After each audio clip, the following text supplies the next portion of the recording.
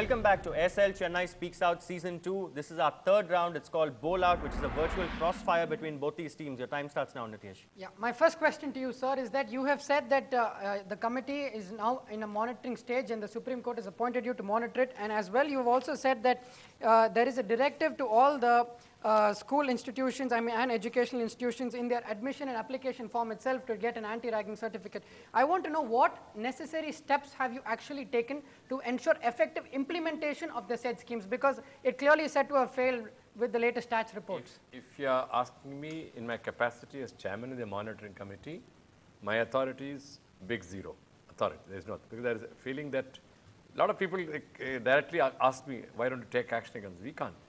We, we operate through the HRD ministry, Human Resource Development Ministry. Ministry acts through the state governments.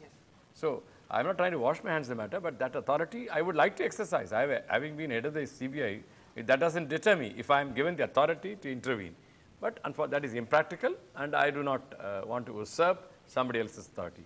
But it is the HRD ministry which uh, recommends action to the state governments. State governments again, again pass it down the line. So naturally, implementation ultimately will depend uh, on the, uh, the lower formation, especially colleges, the principals, and state police. Yeah, the police, if, if there's a case and the police doesn't intervene in spite of the, I mean, a college uh, complaint, then there is something really wrong. At the same time, police are, are an embarrass, uh, uh, situation, embarrassing situation. They can't proactive unless there's a major uh, violence within the campus. Uh, so they can't, if they come in there, they- police are a red rag as far as colleges are concerned. That's the problem here. So wha- why is uh, every reaction to ragging, a ragging incident, a knee-jerk reaction? Why has it been that we have repeatedly had knee-jerk reactions to incidents of ragging? That, that is why, first of all, uh, there is no uh, consciousness on the part of the college authorities. Second, there is no penalty for, for inaction. That's the problem. There is no penalty. So I think if ultimately some police officer, some police station registers a case of abetment to ragging, slaps a charge on a college management, till that happens, I don't think the management will ever bother about it. Are the principals waiting for that, ma'am? For the principal to be arrested so that they'll wake up from their slumber? No, I would go back to my proactive uh, argument and ask the media, uh, Ms. Ramya, why can't you highlight freshers parties which happen as we, we do have a freshers party and where they are really welcome and we make them feel so comfortable. The interaction between the seniors and the freshers takes place in such a nice manner. Maybe if you highlight such issues, then uh, other colleges can take uh, leave out of this uh, book and see that there are different ways of doing it. Maybe they'll feel ashamed of doing those heinous crimes. May, it may not happen overnight, but at least it will lay the platform for that. True, but uh, going by the dictates of news, we have certain criteria uh, before we can cover an No, event. swine if it flu were in to Kerala become comes uh, on the first page. True. But uh, something like this means then uh, it would uh, give a lot of impetus to the students who are doing something But nice. Ramya, would you, would you also just to add on, since you know I also belong to the media, uh, is that news at all? It- when it if, wouldn't if, be if, news. if freshers are welcomed, Exactly. Yes. then that's the way it should be. It ought to be. So is that should be. news? yes, No, that's the way it should be. It won't be news. but, Man uh, bites dog. Uh, we've got a jury member who wants to in fact shoot questions. Uh, also, I'm told, sir, that uh, you introduced the concept of black boxes. But of course, we know like even with air crashes, black boxes are not easily found. But it is found in everybody's principal's uh, office. Is it empty or is it full, sir? No, it is empty. Okay. Beca- Because the freshers not come. Please So explain.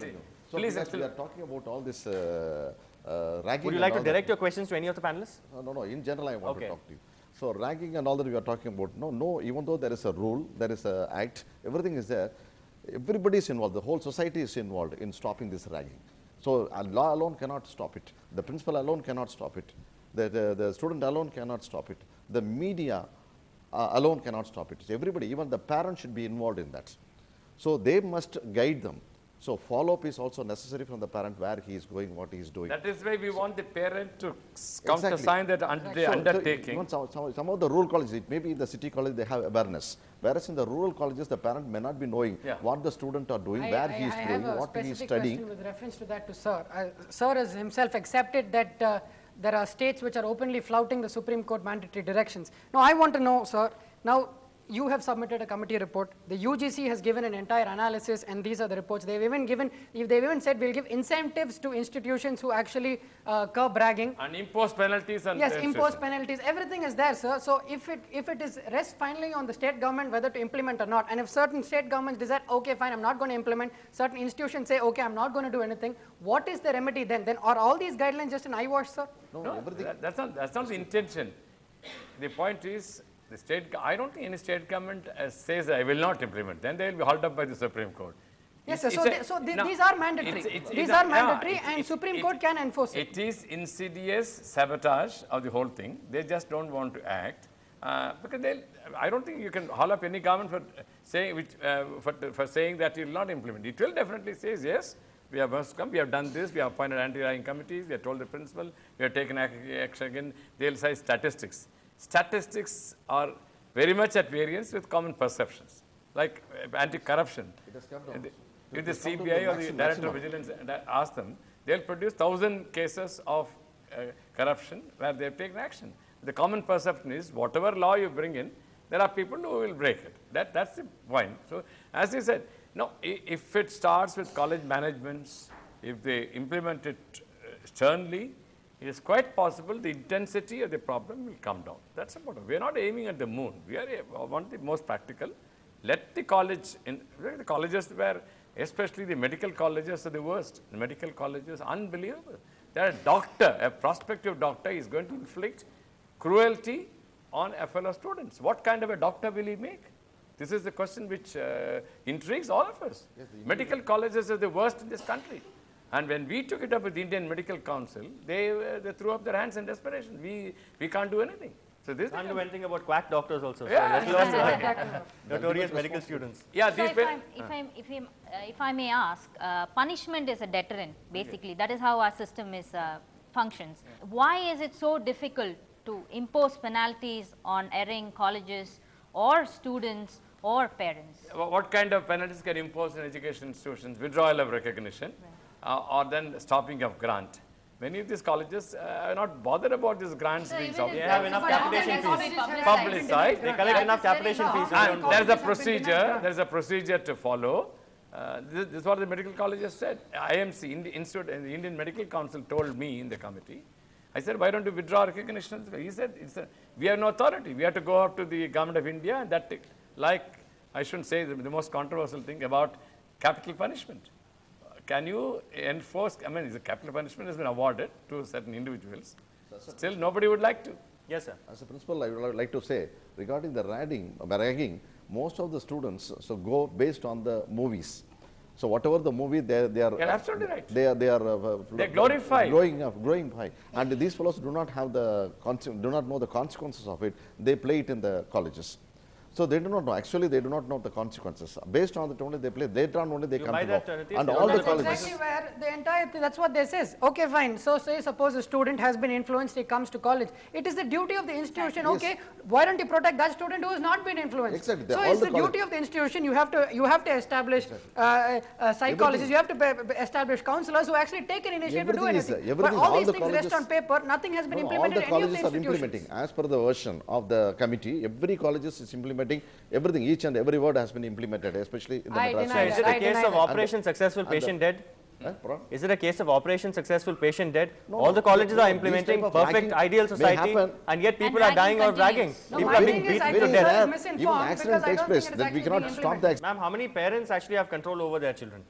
That's a very, yeah. That's the problem. yeah, especially. because That is these days, problem, I think uh, parental control on children is uh, definitely, So if uh, a parent cannot exercise, if a father cannot control his son, how will the principal control the, ch- the They will students? come which to education, they will come to the college only when their children are thrown out of the college. Till then, they will And not plead, and plead with the, pa- the principal to take them back. And Sanjay, Which there is is- as of now a provision that when a student passes out from the first year and moves on to the second year, the vice chancellor of the said university has to send a letter addressed to the parents to ensure that his ward does not indulge in any of these activities once he enters college, but that does not happen. Now, we do, I, in five years of my college existence in my legal education here, I have not once received a leaflet, I have not once read anything about what is ragging, what is the menaces of ragging, how it should be regarded as a social evil, but they just speak about something called as healthy ragging. I don't understand what this concept called healthy ragging actually means. Because it ends, if, if healthy ragging is going to result in something like, uh, something like this, what we're experiencing today, then it's something which we should immediately abhor, immediately. And how can you idealistic even- society exists only because of lack of proper implementation and monitoring of what is happening. So it is very easy to even have a debate like this, but what are going to be the steps taken post this debate? That is What very steps will you I take, completely How concur with your point of view. Yeah. My point is there is there are established anti-ragging squads, but when has an anti-ragging squad ever come to your institution and ever advised or carried on anonymous searches or checks? as And, these are coming from the committee. He lacks the authority to go beyond a certain point. They report to the Supreme Court, ma'am, and I, I think sir only should actually finally report to the Supreme Court in the end. There is another aspect to it. Uh, I mean, correct me, one of you can correct me if I am wrong. Ragging takes place the severest form in hostels. And, and there, once upon a time, all the hostels used to be located inside the college campuses. Now we have got uh, hostels away from the campuses. And so this is a convenient alibi for the college authorities saying, we have no control because we have no hostel here. Hostel is in Saidapet, I said Tondiarpet. Like the I, I, I refute that again because yes, even in a hostel there is a warden who is appointed and there are certain guidelines which you should follow before. Yeah. Even when you're entering a hostel, you still have to give it a But certain there are undertaking. wardens themselves who are accused of ragging. Yes, This yeah. again- In fact, So they NID also, they made a botch up students every pose in the single nude case just the other day. happens. This The is why- wardens themselves are guilty, Ragging then what happens? Spontaneously also. Yeah, this is So why. we cannot watch. One more important thing. I'm trying to educate, I mean, in, disseminate information. Sorry if I use it. This, we, were, we knew that wardens were not playing their roles. Wardens invariably are lecturers or professors who have teaching duties. They just, against their wishes, the management asks them to go and spend time in the hostel. They don't do either job uh, satisfactorily, teaching or this one. And then they, that is why we said we should have dedicated wardens, a cadre of ward, wardens who are well paid, who will remain there Our 24 hours. warden's equivalent of IG IGs of armed police, sir. Absolutely. No, sir, I- my point is A only, warden is there, dedicated Punishment warden posting. who spends full time there. He will have a better rapport with students and also he will understand what's happening in the hostel. Otherwise, this character, so-called warden, he comes up for two or three hours against his wishes. He already has a heavy burden of teaching and he has to come here and spend time. He just no incentive. Ramya. Sanjay, I think we are, you know, forgetting this huge group in our accusations. We are forgetting this huge group, which is the student body. These are 17, 18 year olds. They have huge exposure to the media today. And they still think that ragging is cool. They think that humiliation is a form of breaking ice. I think that's, we, we have to question the basics of that group of people. Absolutely. And the student body themselves should go and represent. And if, anyway, the ragging, the ragging, uh, the perpetrators are basically a minority in institutions. So if the student body themselves take it up, But some of them become students' union presidents, right? eventually they even become politicians, that is the norm today. Not some of them. Many of them. Many of them. All right, on that note, it's time to slide into another short break on SL Chennai Speaks Out Season 2. When we come back, we'll have our final round, third umpire.